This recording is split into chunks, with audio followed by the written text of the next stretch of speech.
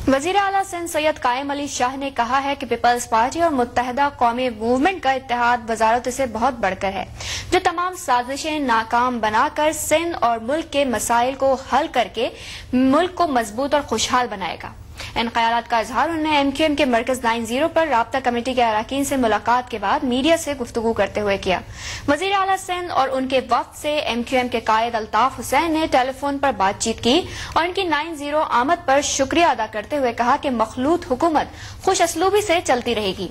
अल्ताफ हुसैन ने कहा कि एमक्यूएम हर कड़े इम्तिहान में पीपल्स पार्टी के साथ होगी। उन्होंने कहा कि जिस तरह सिंध ने अपनी आगोश में जगह दी, हम इसका कर्ज उतारने में बड़ी से बड़ी कुर्बानी देने के लिए तैयार हैं। वज़ीर अला सिंध ने साफियों से गुफ्तगु करते हुए कहा कि पीपल्स पार्टी आसिफ अली जरदारी को सदारत का उम्मीदवार नामजद करने पर गौर कर रही थी कि अल्ताफ हुसैन ने आसिफ अली जरदारी को उम्मीदवार बनाने की तजवीज देकर हमारी सोच को अमली जामा पहनाया। वज़ीर अला सिंध ने कहा कि आसिफ अली जरदारी और अल्ताफ हुसैन से मुशावरत के साथ वफाक में एम क्यू एम को वजारतें दी जाएँगी। एम क्यू एम रबता कमेटी के रुकनो सैनेटर बाबर गौरी का कहना था कि आसिफ अली जरदारी पीपल्स पार्टी के नहीं मुतहदा कौमी मूवमेंट के सदारती उम्मीदवार हैं, क्योंकि अल्ताफ हुसैन ने उनका नाम तजवीज किया था। उन्होंने कहा कि हुकूमत के खिलाफ साजिशों का डट कर मुकाबला किया जाएगा।